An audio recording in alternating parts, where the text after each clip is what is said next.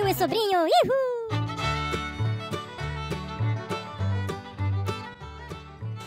É, calorão é coisa de louco hoje, né? É, tá calorão e um vento frio ainda por É. Mas falando em louco, outro dia dois loucos escaparam do hospício. E saíram pela rua assim, de repente acharam um volante. E já pegaram e começaram. Nhê, nhê, com aquele volante. Chegaram, pararam no posto de gasolina assim, e encheu o tanque. O frentista olhou e disse: Vocês devem estar com os parafusos frouxos. Um louco olhou pro outro. Te falei que nós pegar esses caras velhos já ia começar a gastar com uma oficina.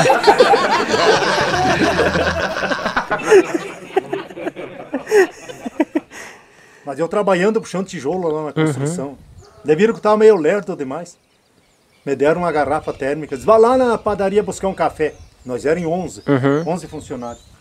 Cheguei lá e disse pra mocinha, essa garrafa cabe 11 xícaras de café? Aqui dentro? Ela disse, cabe.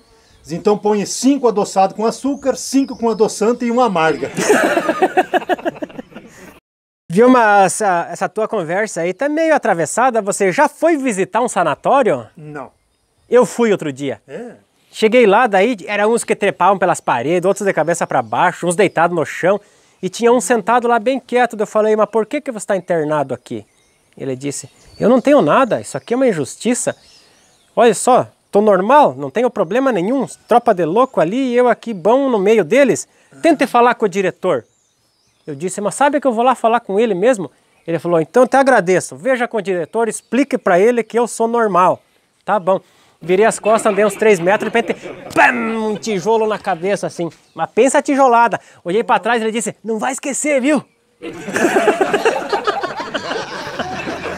Você por que, que o poste brigou com a lâmpada? Vai saber. É porque ele descobriu que o fio não era dele. Esses dias fui pescar, quase trouxe uma carpa de 20 quilos pra casa. Arrebentou o anzol? Não, é que o cara que pescou ela queria 50 reais, só tinha 10. Gosta de peixe? Peixe? Gostar eu gosto, mas eu prefiro carne de gado, só que não dá para comprar ultimamente, tá muito caro, né? Semana passada eu reservei um boizinho, tem um primo meu que engorda. Cheguei lá de tarde para buscar, ele tem aqueles freezer grande que quase entra com o caminhão dentro. Abriu aquele freezer, saiu para fora um terneiro. Tchif, tchif. Eu digo, mas credo, coitado, o que, que você fez com ele? Ele disse, ué, você não falou que era para mim deixar a carne resfriada? Este vídeo teve o apoio de Segna. O seu GPS agrícola!